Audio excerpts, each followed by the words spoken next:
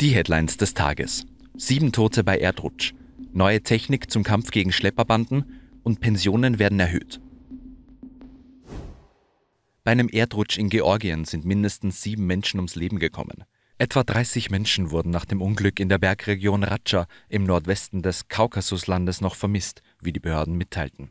Die Erdmassen waren am Donnerstag nach tagelangen heftigen Regenfällen ins Rutschen geraten. Nachdem am Donnerstag zunächst zwei Todesopfer gefunden worden waren, wurden am Freitag fünf weitere Leichen entdeckt, teilte das georgische Innenministerium mit. In dem Katastrophengebiet der Ortschaft Oni arbeiten die Rettungskräfte weiter ohne Unterlass, hieß es in der Ministeriumsmitteilung auf Facebook. In der Bergregion befinden sich zahlreiche Urlaubsorte. Der Erdrutsch ereignete sich in der Nähe eines Hotels in Showi. In dem Urlaubsort wurden Ferienhäuser, Stromleitungen, Straßen und Brücken beschädigt. Nach Angaben des Innenministeriums wurden mehr als 140 Menschen aus dem Katastrophengebiet in Sicherheit gebracht. Heute ist an der Grenze Nickelsdorf ein neues Gerät zur Bekämpfung der Schlepperkriminalität vorgestellt worden.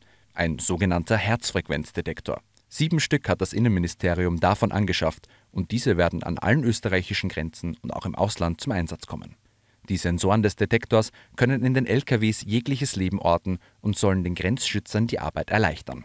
Diese neue Gerätschaft mit den Herzschlagdetektoren ist für uns eine massive Unterstützung, um einerseits die Schlepperkriminalität zu bekämpfen, aber andererseits auch Menschenleben zu retten.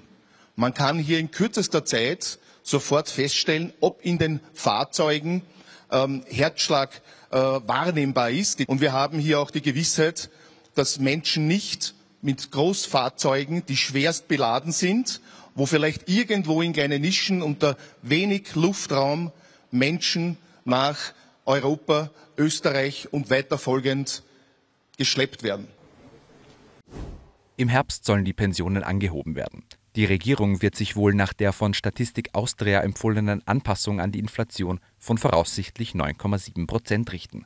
Das hat Bundeskanzler Karl Nehammer im Gespräch mit der Nachrichtenagentur APA verkündet. Jetzt ist es so, dass die Inflation mit der Zahl so hoch ist, dass auch dementsprechend die Erhöhungen stattfinden, dass die Maßnahmen, die wir vorher gesetzt haben, immer bei den geringeren Pensionen die Erhöhungen durchgeführt haben, mehr als sozusagen der Inflationsschnitt war, dass wir dadurch in die Lage versetzt werden, jetzt diese Inflationsanpassung auch dann dementsprechend umzusetzen.